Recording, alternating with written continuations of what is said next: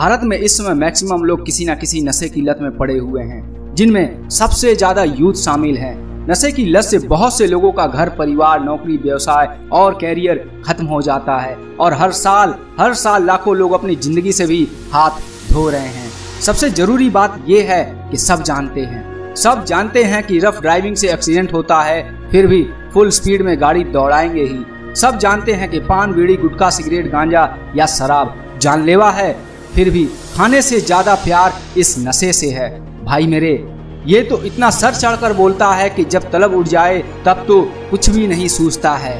बस वो अपना पसंद का नशा चाहिए तो चाहिए और हर हाल में चाहिए। भले ही एक दो टाइम खाना ना दो मगर सिगरेट, गांजा, शराब या जो भी नशा है, उसे बस दे दो। और क्या ज़िंदगी के सारे मज़े उसी में मिल जाते हैं? लेकिन हकीकत तो ये है कि कोई भी नशा, कोई भी नशा जब शौक से रोज की रूटीन बन जाती है, और ये रूटीन जब कुछ महीनों और दिनों में बहुत ही मज़बूत लत बन जाती है, जिसमें आप बहुत ही बुरी तरह से अपने दिमाग और शरीर दोनों से बीमार हो चुके होते हैं, और देखते ही देखते आप उस नशे के गुलाम बन जाते हैं।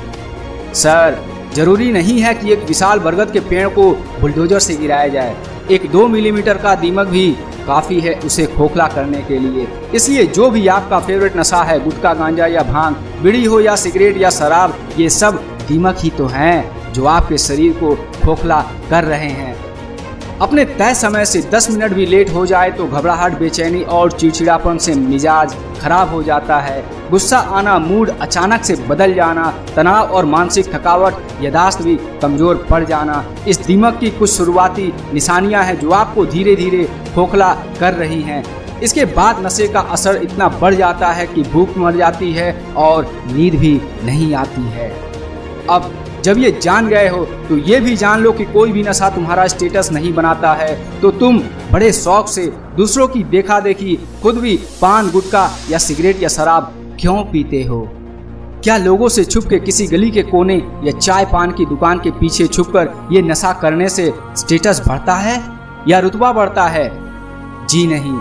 जी नहीं थोड़ा सा सोचो, कोई भी नशा, कोई भी नशा फ्री में नहीं होता है। रुपए खर्च करने पड़ते हैं। अगर रोज का तुम केवल पचास रुपए भी नशे के लिए खर्च करते हो तो महीने के पंद्रह सौ रुपए और साल के अठारह हज़ार और दस साल में, दस साल में एक लाख अस्सी हज़ार, जिससे तुम अपना कैरियर बना सकते थे या शानदार गाड़ी खरीद सकते थे या फिर भी अगर बैंक में रखते तो ये दस साल में दो गुना तीन लाख साठ हज़ार बन सकते थे, लेकिन तुमने तो इन सारे रुपयों को चबाकर चबाकर थूक दिया और धुएँ में उड़ा दिया। ये तो सिर्फ़ एक छोटा सा गणित है। वास्तविक हिसाब। वास्तविक हिसाब तो तुम खुद ही कर सकते हो कि आज तक तुमने कितना खो दिया है।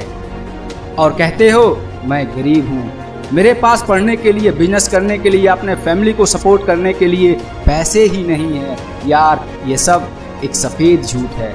बकवास है। सच तो ये है कि तुम बदलना ही नहीं चाहते हो। सच तो ये है कि तुम अपनी पुरानी घिसी पिटी आदत को, अपनी पुरानी सोच, अपनी अतीत से बाहर आना ही नहीं चाहते हो। अगर तुम्हारे अंदर थोड़ी सी भी जमीर बची है, कुछ भी इंसानियत बची है तो आज और अभी ये ठान लो, ये संकल्प लो कि जो खो दिया है, उसे वापस ला नहीं सकता। लेकिन हाँ हाँ जो बचा है उसे और भी बेहतर बनाऊँगा। मैं भी अपना जीवन बदलकर पूरी दुनिया को दिखाऊँगा। माँ बाप भाई बहन और रिश्तेदारों, सबके आँखों में, सबके आँखों में आँखें डाल के ये बताऊँगा कि मैं भी सफल और कामयाब बन सकता हूँ। मैं भी अपने घर परिवार और समाज के लिए एक मिसाल बन सकता हूँ। आने वाला दिन मेरा है और मैं उसका बादशाह हूँ।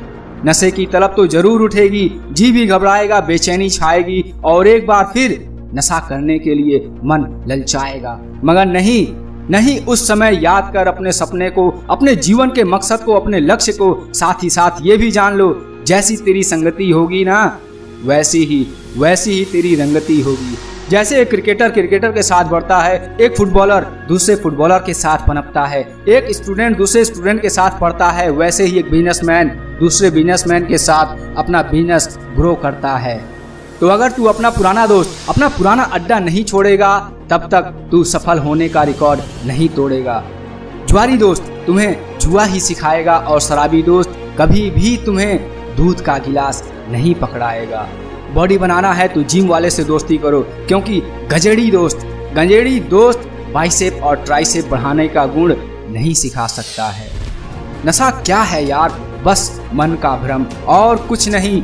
कैसे नहीं छूटेगा ज़रूरत है? तो बस तुम्हारे एक पक्के इरादे की। ये जान लो, हारा वही है जिसने ठाना नहीं है। अगर मान लिया नहीं छूटेगा, तब तो हार जाओगे।